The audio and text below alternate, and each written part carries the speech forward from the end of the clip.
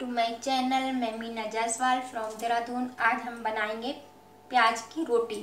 प्याज का पराठा नहीं, रोटी, जो कि सभी को अच्छा लगता है। बच्चे भी बड़े शौक से खाते हैं, बड़े भी शौक से खाते हैं, सारे लोग बहुत शौक से खाते हैं। आज हमने कहा बहुत चीज़ें, बहुत सब्ज़ी सब्ज़ी वगैरह, से मन भर गया। चल आज कुछ नहीं, प्याज की रोटी दही के साथ खाएँगे। प्याज की रोटी बनाओ, दही के साथ, घी के साथ, चटनी हो, उसके साथ बहुत अच्छी लगती है। चलिए वह आज मैं प्याज की रोटी बनाना बताती हूँ किस तरह से मैं बनाती हूँ। बनती है रोटी। चलिए, पहले मैंने ये दो कटोरी करीब आटा लिया है। हम थोड़ा सा आटा हम इसमें निकाल देंगे पलोथन के लिए। हमें चार रोटी बनानी है। सिर्फ़ हम दो लोग हैं आज खाने के लिए। तो चार रोटियाँ बनाएँगे। तो हमने थोड़ा सा ये आटा लिया है। और ये प्याज को हमने चॉपर में अच्छे से बहुत बारीक बारीक काट, चॉप कर लिया है। और ये तीन प्याज है, इतनी इतनी बड़ी तीन प्याज है। प्याज ज़्यादा होगी रोटी में, तभी प्याज की रोटी अच्छी लगती है। वरना अच्छी नहीं लगती। है हम प्याज को डाल देंगे इसमें। हरी मिर्च हमने बीस से आधा करके और दो हरी मिर्च को हमने बारीक काट लिया है।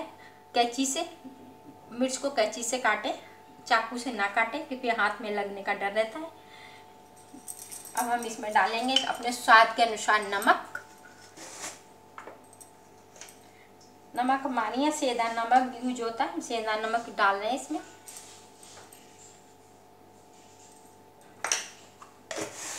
और इसमें हम डालेंगे अब थोड़े से मसाले।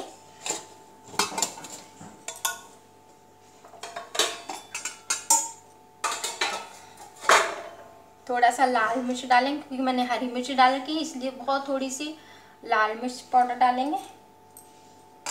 थोड़ा सा डालेंगे इसमें गरम मसाला, हल्का सा थोड़ा सा। थोड़ा सा डालेंगे हम धनिया पाउडर, बहुत ज़रा सा डालेंगे धनिया पाउडर जिससे इससे धनिया का स्वाद इसमें आ जाए। चलिए बाकी और हम कुछ नहीं डालेंगे रोटियों में, बाकी बस और ये रोटियाँ खाई जाएँगी देसी घी से। देसी घी अगर मिल जाए रोटियों के साथ तो फिर तो क्या ही बात है, मज़े ही आ जाते हैं रोटी खाने में तो। चलिए अब मैं इसको आटे को गूंद लेती हूँ।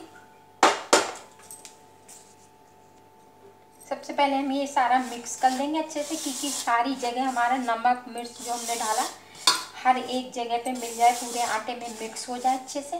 कहीं रह ना जाए, कहीं ज़्यादा या कहीं कम हो जाए, उससे पहले मिक्स कर लेना चाहिए आटे को। चलिए, हमने मिक्स हो गया, अब हम इसको इस तरह से गूंद लेंगे।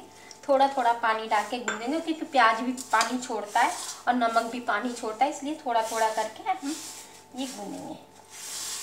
इस तरह से।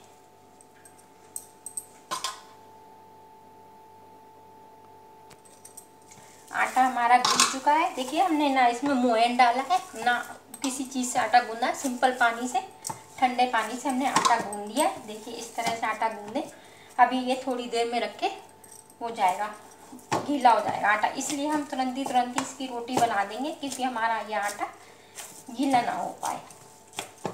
इसको अच्छे से गूंद लेंगे कुछ चिकना डो बना लेंगे। उतनी जितना अच्छे से आटा गूंदेंगे ना उतनी रोटियाँ अच्छी बनेंगी, प्याज की रोटियाँ। खाने में बहुत ही टेस्टी लगती हैं। कभी आप लोग भी बना के खा के देखना। रोटी बनाने में बहुत ही अच्छी लगती है रोटी। घी के साथ खाई जाए। दही हो ना हो, लेकिन घी तो ज़रूर होना चाहिए। घी और एक अचार।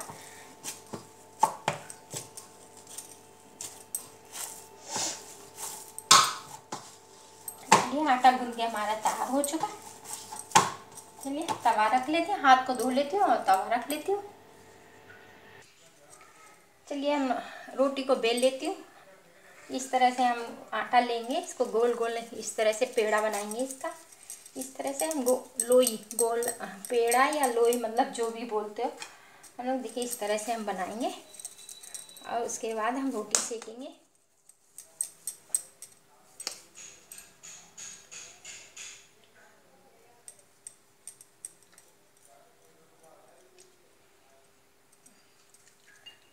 चकले पे रखेंगे और बेल लेंगे थोड़ा थोड़ा।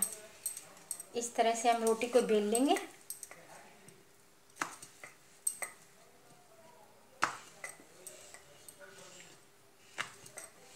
चिपकने लग जाए चकले पे तो फिर से ऐसे कर लेंगे क्योंकि हमारी रोटी चकले पे चिपके ना, चिपक चिपक जाएगी तो ये चकला भी ख़राब हो जाएगा और हमारी रोटी भी टूट जाएगी।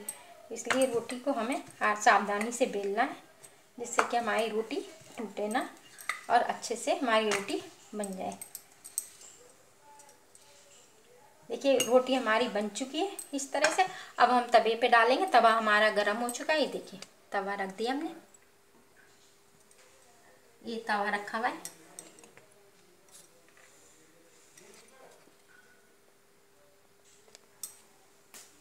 तवे पे हम डालेंगे रोटी।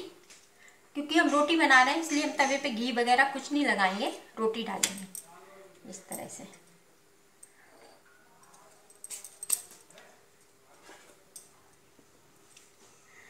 जब तक ये रोटी सिक रही है, हम दूसरी रोटी को बेल लेते हैं।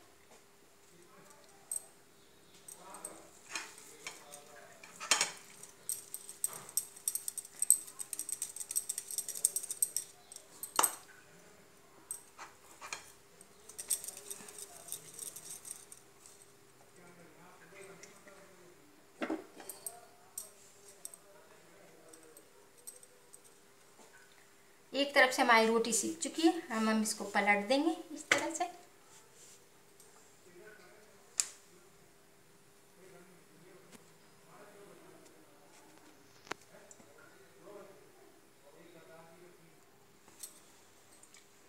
देखिए, रोटी हमारी इधर से सीख चुकी है, ये देखिए इस तरह से। अब हम इसको पलटेंगे और कैसे सेकेंगे, इसको कपड़े से हम दबा दबा के सेकेंगे। इस तरह से एक कपड़ा ले लेंगे इस तरह से ये दबा दबा के रोटी हम खूब करारी होने तक सेक लेंगे इसको।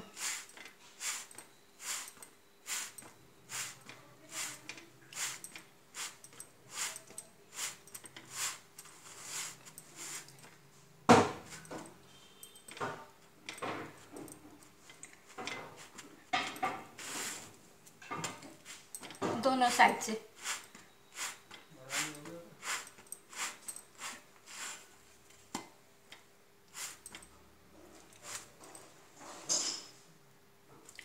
प्याज की रोटी मोटी होती है ना, थोड़ी देर में सिकती है। थोड़ा धीमी, गैस को मैंने बिल्कुल लो कर रखा है। नहीं तो हमारी रोटी जल जाएगी ऊपर से, अंदर से सिकेगी नहीं, प्याज भी कच्चा रह जाएगा और रोटी भी कच्ची रह जाएगी अंदर से। इसलिए हमें इसको धीमी धीमी आँच पे सेकनी है रोटी को। इस तरह से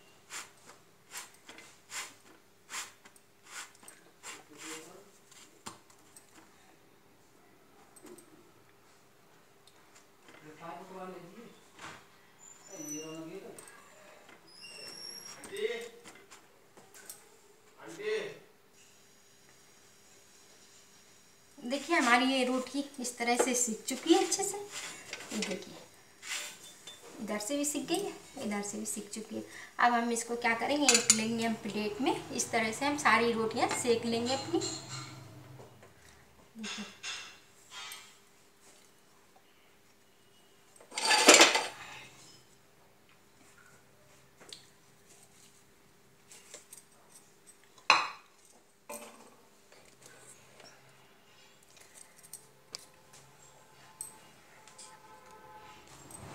दें ये रोटी को हमने यहाँ रखा।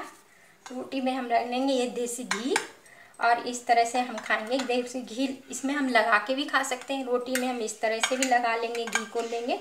टुकड़े को इस तरह से लगाएँगे। रोटी में अच्छे से घी।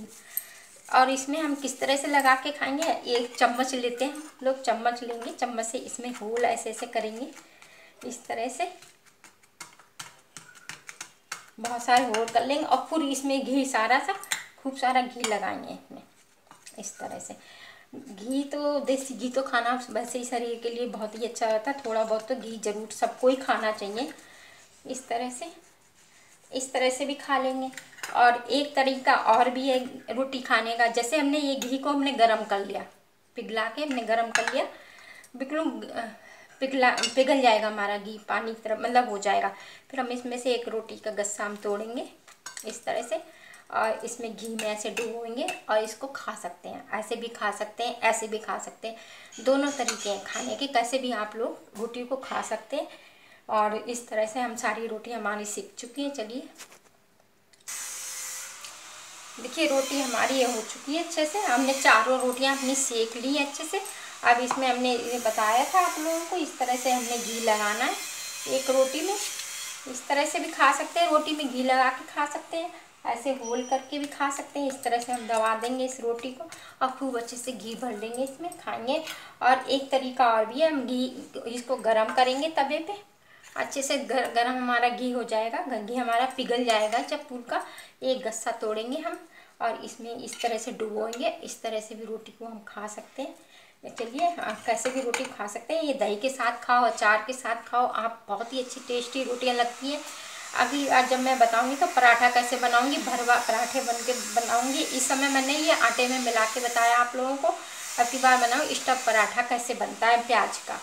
चलिए, कैसी लगी हमारी, आप लोगों को ये रोटियाँ?